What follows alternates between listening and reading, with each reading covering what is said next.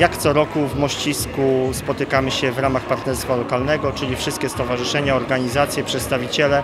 Właśnie tutaj w Mościsku spotykamy się na takiej imprezie integracyjnej podsumowującej e, e, ostatni rok działalności, ale też e, każda konwencja ma coś innego. Jeśli chodzi o koncepcję dzisiejszego wydarzenia, to jest gminna Odyseja. Przenosimy się w czasie, wspominamy tą historię powstania gminy Dzierżoniów, która 50 lat temu się wydarzyła, tak, ale też wybiegamy w przyszłość z przesłaniem do kolejnych pokoleń, kolejnych mieszkańców gminy Dzierżoniów. Wszystko jest na razie pewną tajemnicą. Tutaj bardzo serdecznie dziękuję przedstawicielom biblioteki, również pani Jolancie Zarzece za to, że udało się wszystko w odpowiedniej konwencji przygotować, dołożyli wszelkich starań, ale też y, mówię, to jest spotkanie integracyjne, podsumowujące, trochę humorystyczne, po to, żeby też y, od tych codziennych obowiązków, od tych codziennych takich trosk troszeczkę odejść i takim humorystycznym, niekonwencjonalnym wydarzeniem dzisiaj uczestniczyć. Trzeci sektor w gminie naszej ma się bardzo dobrze. E, w, mamy e, organizacje zrzeszone są w partnerstwie lokalnym.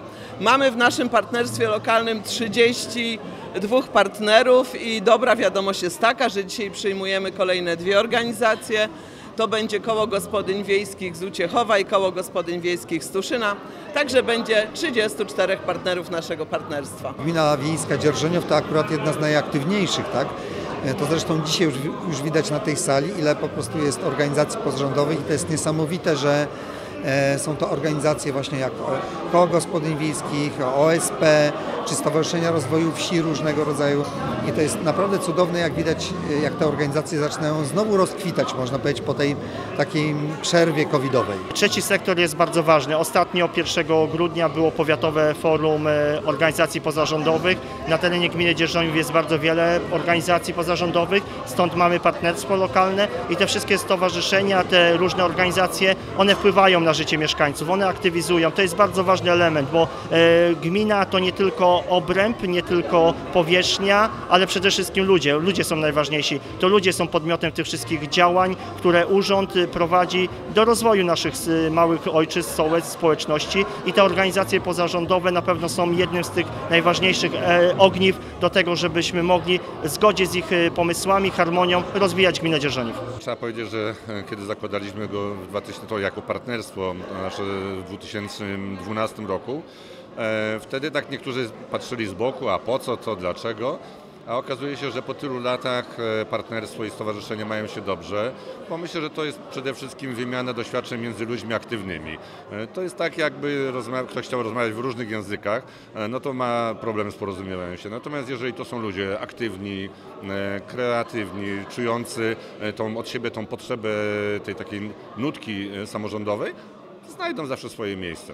To spotkanie, to nie, ono ma nie tylko charakter integracyjny, ono ma też charakter merytoryczny. Dzisiaj jest w takim trochę kosmicznym stylu, natomiast my dzisiaj będziemy e, przesyłać przesłania kolejnym pokoleniom, będziemy wysyłać w kosmos informacje e, o tym, co jest dla nas najważniejsze, e, co, powinny, co powinni zrobić mieszkańcy gminy Dzierżoniów dla kolejnych pokoleń i takie jest dzisiejsze przesłanie. Ja mam tutaj przykład takiego przesłania, które przygotowała gmina Dzierżoniów jako partner tego partnerstwa.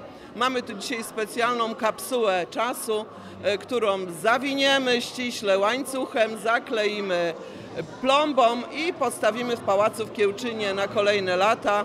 E, z, o, z zastrzeżeniem, że wolno ją otworzyć dopiero po 10 latach. Ja bym powiedział, że one e, wypełniają tę lukę, która jest w usługach społecznych, tak? czyli wszelkiego rodzaju działania takie edukacyjne, kulturalne, społeczne e, i ona na pewno wspomagają, można powiedzieć, dlatego że samorządy nie są w stanie wszystkiego same robić. Nawet samorządy powinny się podzielić, żeby organizacje to mogły robić za nie. Przede wszystkim gmina zleca organizacjom pozarządowym w ramach konkursu zadania publiczne, bo idea jest taka, że organizacje wiedzą najlepiej, co jest potrzebne mieszkańcom na terenie, na którym one działają. Na dzisiaj nie ma, że tak powiem, y, osobnych miejscowości. Dzisiaj wszyscy jesteśmy razem. Ci ludzie spotykają się nie tylko w trakcie dzisiejszego dnia, ale również w ramach różnego rodzaju zawodów, spotkań, konkursów i prywatnych również. Przykładem tej integracji jest e, dzisiejsze spotkanie. My zawsze szczycimy się tym, że mieszkańcy naszej gminy, czy to z Jędrzejowic, czy to z Ostroszowic, czyli miejscowości odległych od siebie, że oni się znają. Znają, współpracują, a znają się właśnie dlatego, że mają okazję spotkać się na takich e, wspaniałych spotkaniach jak to dzisiejsze. My wprowadziliśmy taką politykę, żeby te stowarzyszenia jakby no już potrafiły same określić swoją działalność. To wsparcie, które na początku, takie bym powiedziała, nawet troszkę prowadzenie za rękę było, w tej chwili to są samodzielne organizacje, które świetnie sobie radzą. Przekonaliśmy ich do tego, że po pierwsze są dobrze przygotowani, po drugie wprowadziliśmy e, takie dodatkowe pomocowe elementy, jakimi są na przykład pożyczki e, bezprocentowe dla organizacji i mówimy krótko, pozyskacie pieniądze, damy Wam na wkład własny, więcej damy Wam również na poprowadzenie tych działań, a potem zrefundujecie je z środków pozyskanych. Nasze organizacje, y, oprócz tego, że realizują projekty z dofinansowaniem z gminy Dzierżoniów, to realizują wiele projektów z różnych innych źródeł finansowania i tym się też szczycimy, dlatego że świetnie nauczyli się pozyskiwać środki. Znaczy trzeba pamiętać, że trzeba się dzielić odpowiedzialnością, doświadczeniem i to jest jedna z najlepszych form.